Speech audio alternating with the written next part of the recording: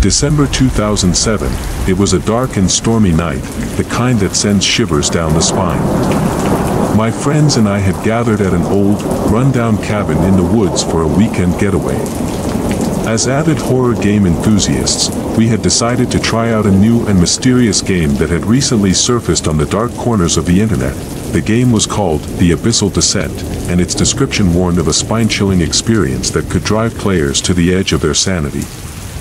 Ignoring the warning signs, we were eager to delve into the unknown and challenge ourselves to the ultimate horror experience. I fired up my computer, and as the game's eerie intro played, a sense of unease washed over me. The haunting music seemed to seep into my soul, and I noticed the shadows in the room shifting with every flicker of the monitor. The main menu was simplistic yet sinister, a pitch-black background adorned with flickering candles that seemed to have an unnatural glow. The only option available was Start Game, and with trepidation, I clicked it. As the game loaded, the atmosphere in the cabin grew tense. The wind outside howled like a tortured soul, and the cabin's creaks merged with the game's haunting ambience.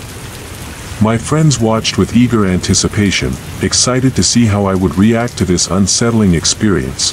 The game began with me controlling a lone character trapped in an eerie, desolate mansion.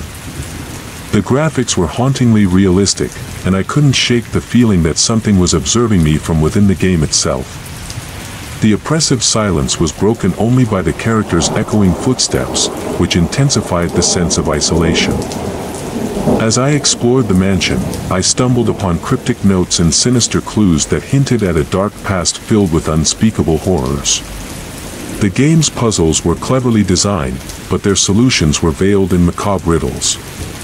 With each revelation, the atmosphere grew more sinister, and my heart pounded in my chest like a war drum. As I delved deeper into the game, I noticed something strange. The character I controlled began to bear an uncanny resemblance to me. The face on the screen seemed to morph into my own reflection, mirroring my terrified expressions. The experience became a distorted reflection of my reality, as if the game had tapped into my deepest fears, the boundaries between the virtual world and reality began to blur. My friends' faces twisted into grotesque masks, and their laughter sounded like sinister cackles echoing in a nightmarish abyss. The cabin around me seemed to warp, its walls pulsating like a living entity, trapping us within a malevolent force. With trembling hands, I tried to exit the game, but the quit button had vanished from the menu.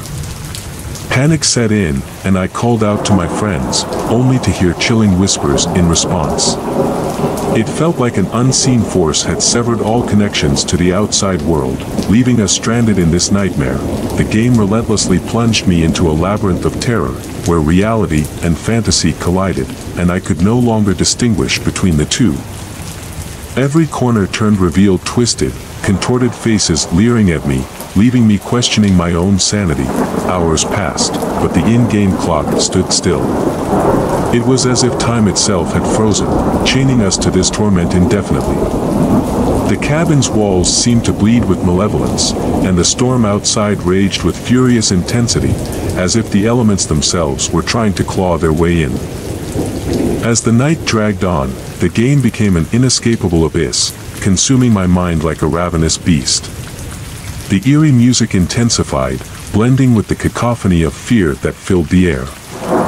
My friends' desperate cries for help sounded like distant echoes, swallowed by the darkness that enveloped us. In that night of endless horror, I realized that the Abyssal Descent was not just a game, it was a sinister portal to a realm of unfathomable darkness. It had ensnared us, pulling us deeper into the abyss, and there was no escape. To this day, I don't know if I ever made it out of that nightmarish ordeal. The memories are fragmented, haunting me like a recurring nightmare. The cabin in the woods remains abandoned. A place feared by locals who speak of an accursed game that drives people to madness. If you ever come across the abyssal descent, heed this warning. Beware the malevolent force that lurks within, for once it ensnares your soul, there is no escape from the terrors that lie in wait.